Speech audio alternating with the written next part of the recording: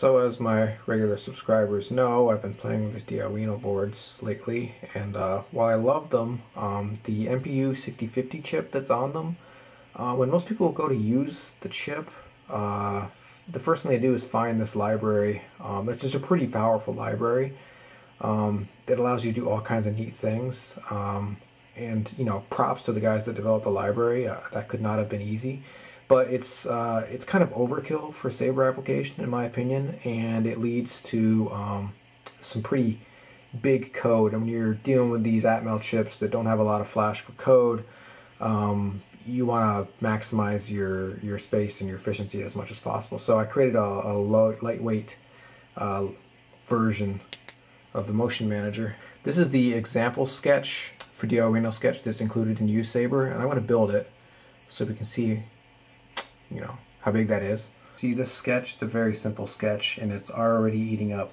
60% of available programming space, you know, at a total size of, you know, you know 8.5K.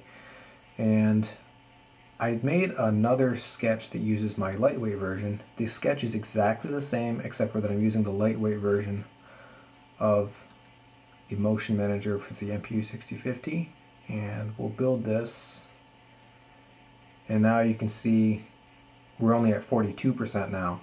You know, we're down to 12K. So that's, you know, that's about five and a half K of savings. So that's pretty significant. Right, so I've loaded up my Sabre with, uh, I modified my sketch to use the lightweight version. And what I want to show you is, you know, if you just move it like this, short little motions, don't cause a swing to happen. Neither do twists, so ignores that. But if you swing it, those are detected just fine. You see those little double swings? What's happening there is the sensitivity is such that if you, uh, when I'm swinging it, it, it comes back a little bit and it detects that as another swing. So it detects that it stopped and then it started again. So you get that little bit of a double swing because I don't have a if you do it with two hands you don't notice it as much but and uh, the clashes pretty sensitive. And it's all done without interrupts. It's just fast cycling code. I'm just checking it very very very often. Every five milliseconds I check to see if there's a clash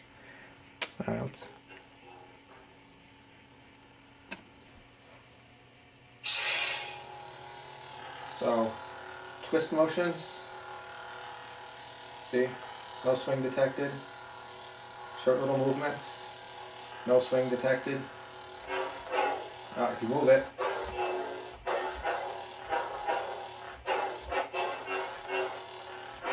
Oh yeah. Little Zorro.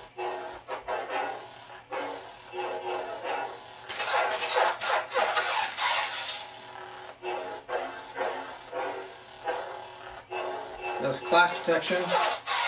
All done with no interrupts. Just super efficient, high frequency code.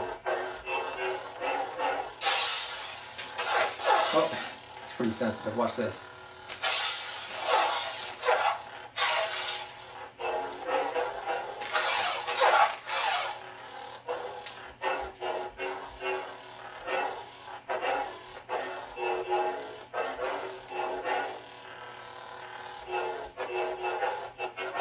You notice after the clash, there's a little bit of uh, non-swing detection, but that's because I have a uh, have a debounce in my code that stops the uh, swing detection for a short time after a clash to make sure the whole clash sound can play. Because you don't want swing sound interrupting your clashes.